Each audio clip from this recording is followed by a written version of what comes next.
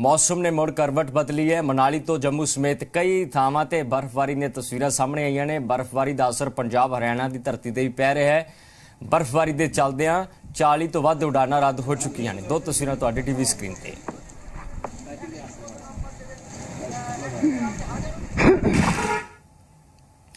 ਸੋ ਦਿੱਗਜ ਅਭਿਨੇਤਾ ਧਰਮਿੰਦਰ ਅਕਸਰ social media ਤੇ ਐਕਟਿਵ ਰਹਿੰਦੇ ਨੇ। ਉਹ ਸੋਸ਼ਲ ਮੀਡੀਆ ਤੋਂ ਪ੍ਰਸ਼ੰਸਕਾਂ ਨਾਲ ਆਪਣੇ ਜੀਵਨ ਦੀਆਂ ਤਸਵੀਰਾਂ ਤੇ ਵੀਡੀਓ ਵੀ ਸਾਂਝੀਆਂ ਕਰਦੇ ਰਹਿੰਦੇ ਨੇ। ਹਾਲ ਹੀ ਦੇ ਵਿੱਚ ਅਭਿਨੇਤਾ ਨੇ ਮਨਾਲੀ ਦੀ ਇੱਕ ਤਸਵੀਰ ਸਾਂਝੀ ਕੀਤੀ, ਜਿਸ ਵਿੱਚ ਉਹਨਾਂ ਨੇ ਆਪਣੇ ਬਚਪਨ ਦੀਆਂ ਯਾਦਾਂ ਨੂੰ ਤਾਜ਼ਾ ਕੀਤਾ। ਤਸਵੀਰ ਵਿੱਚ ਦੱਸਿਆ ਗਿਆ ਹੈ ਕਿ ਘਾਟੀ ਵਿੱਚ ਬਚਪਨ ਦੇ ਦੌਰਾਨ ਧਰਮਿੰਦਰ ਨਾਲ ਕਿਵੇਂ ਇੱਕ ਪਰਿਵਾਰ ਦੇ ਕੁਝ ਪਲ ਸਾਂਝਾ ਕੀਤੇ ਸਨ।